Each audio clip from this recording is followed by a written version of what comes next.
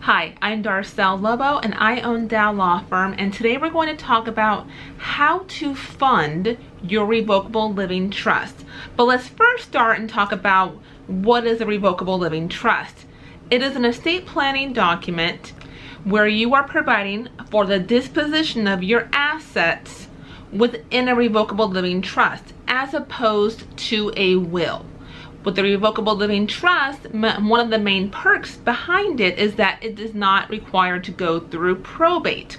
And so that's one reason why clients will want to use a revocable living trust is that it avoids probate for your estate. However, in order for a revocable living trust to work, the trust has to actually own the assets. So when we create a revocable living trust estate plan for our clients, we are also funding that trust for you initially based on the assets that you own at the time.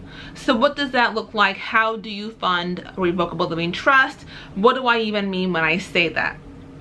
For your real estate, if you own any real estate and it's in your name, when I do your revocable living trust, one of the documents we're also going to review and sign is a quit claim deed that transfers your real estate out of your personal name and puts it into your revocable living trust name.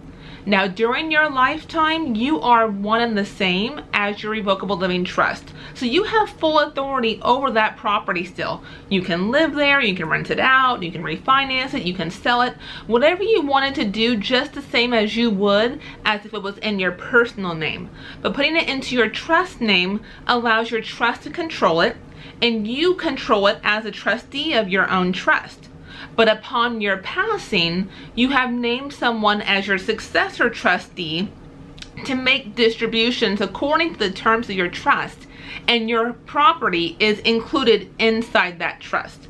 The trust only works if it owns your assets. So if you have your primary residence and you have some investment properties or a rental property or a second home or any other real estate, we need to make sure that we get all that transferred into your trust. So I'm going to ask you about that during your initial consultation about what real estate you own. For any real estate you own in Washington state, which is where I am licensed to practice law, we will handle that for you. If you own any real estate outside of Washington state, I will help connect you with an attorney outside of this state, so whatever, whatever state the property is located in, we will get that transferred into your trust as well using an attorney who's licensed in that state. So that's how you fund your trust with real estate. But you have other assets beyond just your real estate. So we also are looking at your financial accounts. So checking and savings and investments and any other kind of financial asset you have, we need to make sure that we review your beneficiary designations. So for a married couple, they'll usually have the spouse listed first. But if we create a trust for you, many times you may want that trust to be the alternate or contingent beneficiary to your spouse, meaning that those funds will come into your trust as well and be distributed according to the terms of your trust. And if you have multiple beneficiaries, that might be a more effective way to name the beneficiaries is just to name your trust and then your trust will control how that's distributed.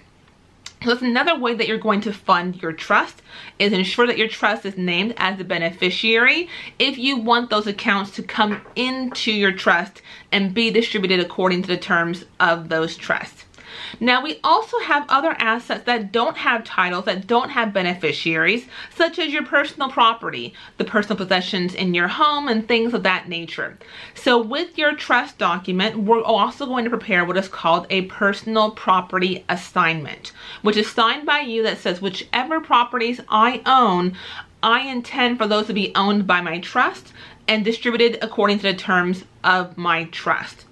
So upon your passing, we're going to provide in your trust that says what goes where. Maybe everything goes to your children equally. Maybe it goes to a charity or friends or other family. We're going to outline the details of your estate and those distributions in your trust. And so all of your assets will be in the trust and be distributed according to the terms of the trust.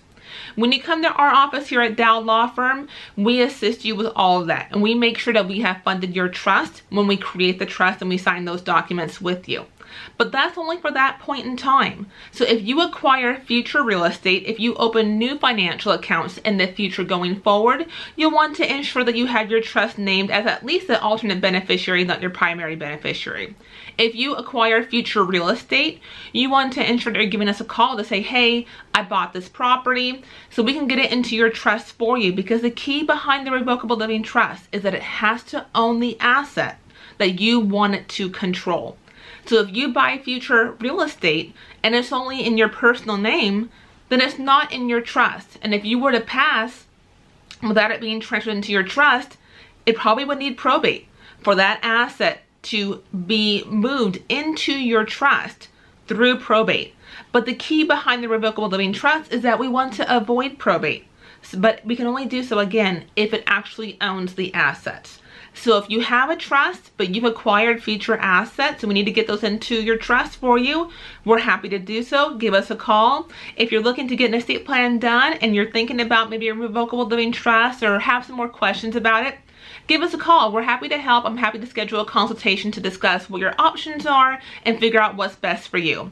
Our office number is 206-408-8158 or you can reach me by email. My email is darcel, D-A-R-C-E-L at dallawfirm.com. Thank you and have a great day.